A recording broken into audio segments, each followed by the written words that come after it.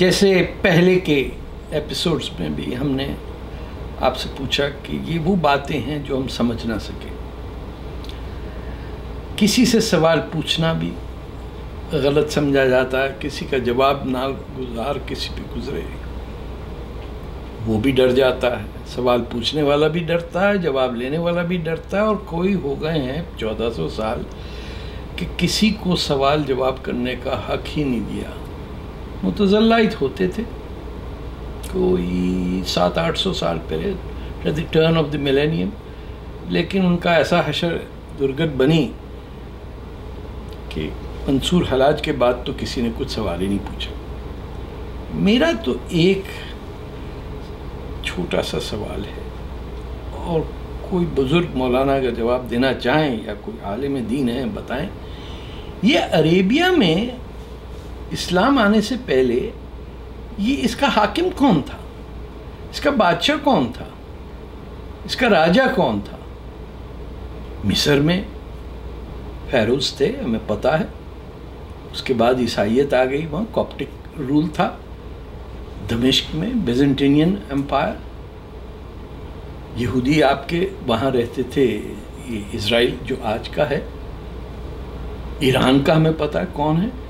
हमारे हिंदुस्तान में गुप्ता डायनेस्टी 560-70 में अपने पीक को पहुँच के ख़त्म हो गई, वो साल में जहाँ हमारे रसूलुल्लाह पैदा हुए मक्का के अंदर। दुनिया की हर जगह में कोई हाकिम होता है, कोई हुक्मरान होता है, कोई बादशाह होता है, कोई वज़ीर होता है, कोई कहता है, ये मेरा इलाका है, ये मेरी फ़ौज है और ये मेरे वज़ीर हैं और ये मेरा वज़ीर आला है और अब हम करेंगे राज यहाँ पे ये अरेबिया में कुछ था ही नहीं।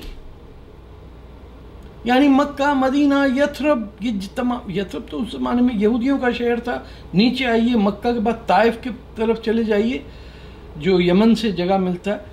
आपको कुछ पता ही नहीं है हिस्ट्री में कि यहाँ कौन रूलर था। और ये कैसे मुमकिन है कि दुनिया के हर जगह चाहे फ्रांस है, शार्लमैन की बात कर लीजिए, जर्मनी की बात करिए, रूस की बात कीजिए, मिस्र की, लिबिया की, अफ्रीका के अंदर कितने मुल्क हैं? नाइजीरिया जो फुलानी थे, हर जगह आपको सोमालिया तक का पता चल जाता है कि फलाना आदमी यहाँ का राजा था, उस ज़माने में ये ये हुआ। अरेबिया में कोई हाकिम ही नहीं था। इसका क्या मतलब है कि ये दुनिया की सबसे बैकवर्ड एरिया था? या ये कि जो वहाँ के हाकिम थे उसके बारे में किसी को पता ही नहीं आ, किसी ने लिखा ही नहीं। हमें ये तो पता है कि कुरान की 300 कॉपियाँ हज़रत उस्मान के ज़माने में जलाई गई और एक कुरान बनाया गया।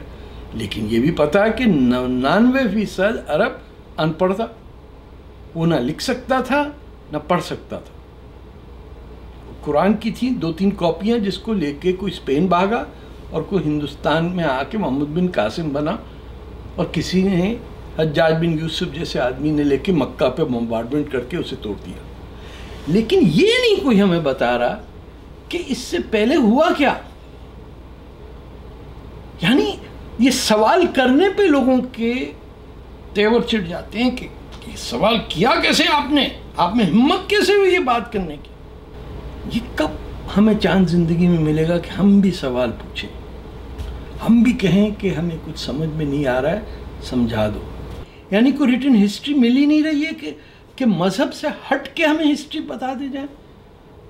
हमें ये नहीं पढ़ने को मिल रहा है कि हज़रत के आने से पहले वहाँ का रूलर कौन था? और अगर किसी को पता चल जाए तो प्लीज़ मुझे बता दीजिएगा। ये अबू सुफियान और मुआविया की बात नहीं है। ये बात है उस शिद्दत की जो हर मुसलमान के जहन में है कि मुझे और पता होना चाहिए। और उस कुफर की जो कहता है कि अगर तुमने सोचा तो तुम्हारी गर्दन उड़ा दी जाएगी। भाई, आजकल तो इंटरनेट का ज़माना है। सवाल तो हम पूछेंगे। मर्ज़ी है आप जवाब देना दें, क्योंकि आजकल तो सवाल पे ही बात चल रही है। जवाब तो सबके पास है। अगली दफ़ा आपके साथ फिर मुलाकात होगी, तब तक के लिए खुदा हाफिज़। फ़ीमान अल्लाह।